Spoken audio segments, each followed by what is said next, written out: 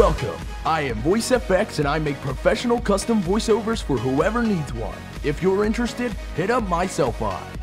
Be sure to subscribe if you enjoyed and re-upload this to support me.